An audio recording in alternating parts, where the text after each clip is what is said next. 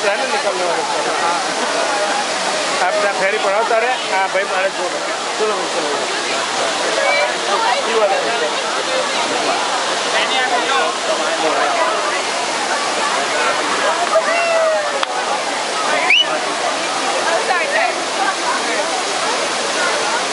Excuse me, please. चल जल्दी पढ़ो